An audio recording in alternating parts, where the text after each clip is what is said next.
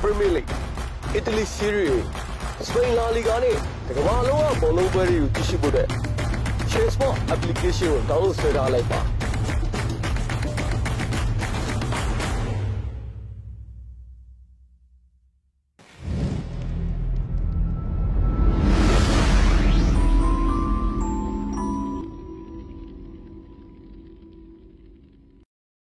ကိုဗစ်ဗိုင်းရပ်စ်ကြောင့်ရုတ်တရက်အကြအယုံဆုံးရှုံးမှုဖြစ်ပေါ်စေနိုင်ကြောင်းဗီဒီနိုင်ငံကလေ့လာမှုတစ်ခုကဖော်ပြခဲ့ပါတယ်။ Guardian သတင်းဌာနရဲ့ဖော်ပြချက်အရဗီဒီကသုတေသနပညာရှင်တွေဟာကိုဗစ်ဗိုင်းရပ်စ်ကူးစက်ခံရတဲ့လူနာတွေကိုအကြအယုံနဲ့ပတ်သက်ပြီးအထူးကြက်မှတ်မေးမြန်းမှုတွေပြုလုပ်တင်ကြောင်းအကြံပေးထားပါတယ်။ကိုဗစ်ဗိုင်းရပ်စ်ကြောင့်အကြအယုံဟာအမြဲတမ်းဆုံးရှုံးသွားနိုင်တာကြောင့်အခုလိုအတိပေးဖော်ပြခဲ့တာပါ။ကိုဗစ်ဗိုင်းရပ်စ်ကြောင့်အနက်အရသာတွေပျောက်ဆုံးတတ်ပြီးခန္ဓာကိုယ်ဟာအတိုင်းအတာတစ်ခုထိမကောင်းတဲ့ကြိုးသက်ရောက်မှုတွေရရှိနိုင်ပါတယ်။စာကော့ဒူဗိုင်းရပ်စ်ဟာနားအတွင်းထဲကဆဲတွေကိုပျက်စီးစေနိုင်ပြီးအစိတ်ဖြစ်စေတဲ့ဓာတုပစ္စည်းတစ်မျိုးကိုထုတ်လွှတ်ပေးနိုင်ကြောင်းသုတေသနပညာရှင်တွေကပြောကြားခဲ့ပါတယ်။သုတေသနပညာရှင်တွေရဲ့စမ်းသပ်ချက်အရကိုဗစ်ဗိုင်းရပ်စ်ကူးစက်မှုကနေတက်တာလာပြီးဆေးရုံဆင်းခွင့်ရရှိခဲ့တဲ့လူနာ122ဦးဟာ